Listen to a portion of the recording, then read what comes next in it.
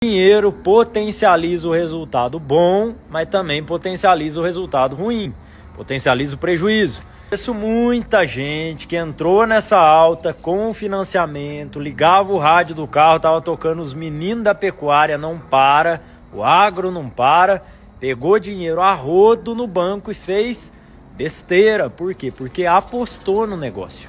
Apostou e entrou no momento errado, no pior momento mas apostou. Pecuária não é uma roleta.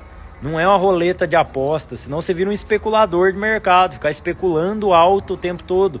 Só sobrevive, só tem resultado se o boi sobe. Se o boi mantiver ou cair, prejuízo. Isso não é construir um negócio.